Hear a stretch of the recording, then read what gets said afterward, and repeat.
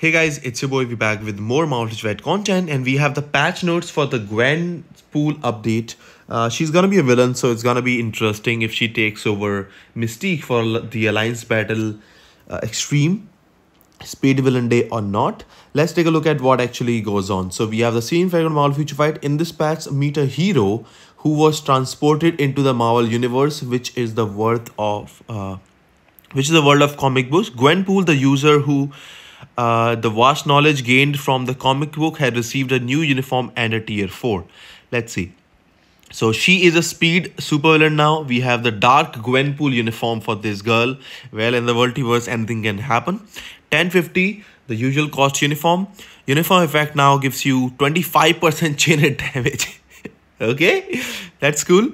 25% critical rate as well as 4% additional pierce damage increase which she I think already has with the older uniform as well.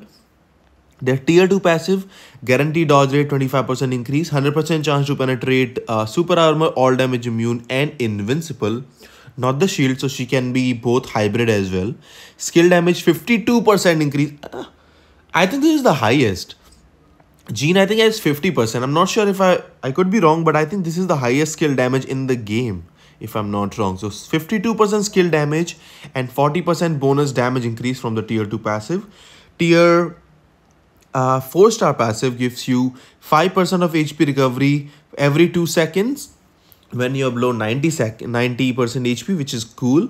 The first skill has nothing just the damage. Second skill has bleed decrease recovery rate paralyzed so yes she can be useful in ABX.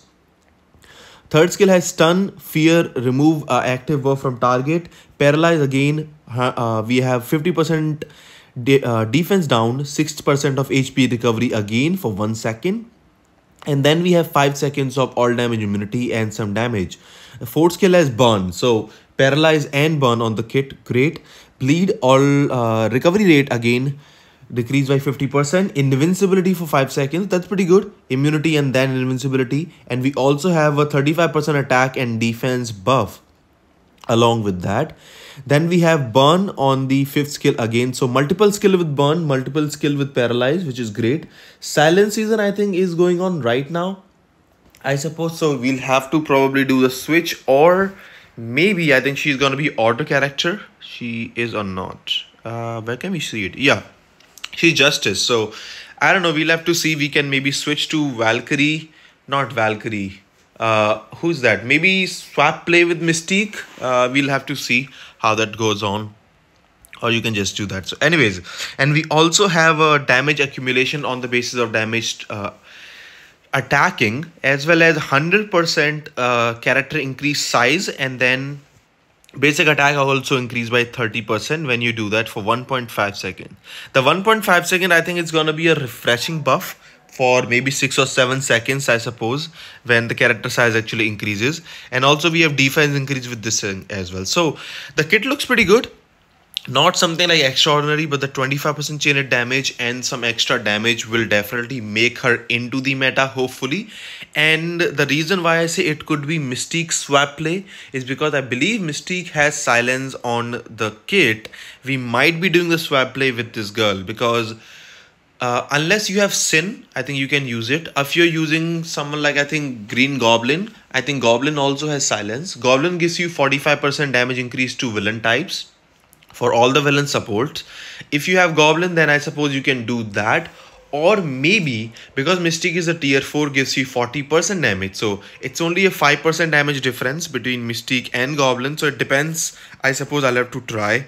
I'll try both the teams, I guess, to see which one actually works out. Because silence is going to be the only thing that might be a pain for Gwenpool apart from that paralyze and burn season she can definitely take it. So we look at it. Accumulation cancels invincibility immunity as well as a lot of damage. It looks like a meta uniform. Hopefully we'll take a look at when we actually get it. And excited. New meta absolutely.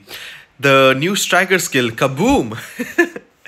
Uh, we have physical attack increase 40% every one second. It goes up to 160% so stackable every 10 second so basically a 160% attack boost uh, and uh, that is pretty good. Every one seconds for 10 seconds. So every single second it will increase. They do not show uh, every one second increases 40% so i suppose in four seconds you should have 160% so after 4 second to 10 second about 6 to 7 seconds you will have a 160% physical attack boot which is huge.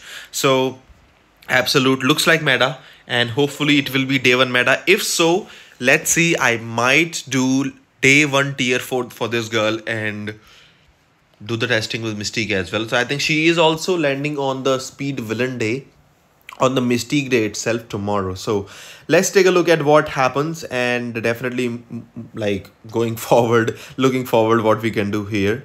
Anyways, we have uh, more improvements. The ignore targeting effect have been added to Gwenpool's tier 3 skill. So, uh, yo, that's good. And ignore all targeting icon has been added to skill description. The name of the uniform, Handsome Pool Mauer uniform, had been changed to Nice Pool. Okay, Nice Pool. Well, that's good. It was not Handsome Pool. It was Nice Pool to begin with and that actually uniform is pretty good in world boss legend so it's all right i suppose and uh, yeah that's the all that's all for the patch note. It's a very small patch just the gwenpool villain uniform. I was not expecting this but she is here and looking forward. I'm let honestly i'm excited and looking forward to the new meta testing. Hopefully she becomes meta and i will be doing some more testing. Uh, versus gwenpool uh, versus uh, raven mystique tomorrow for alliance battle extreme. Absolutely it's gonna be awesome so let's see. Anyways, let me know what you think about the video. Let me know what you think about this uniform. And as always, if you do enjoy the content, I hope to see you again. Take care. I'll see you all in the next one.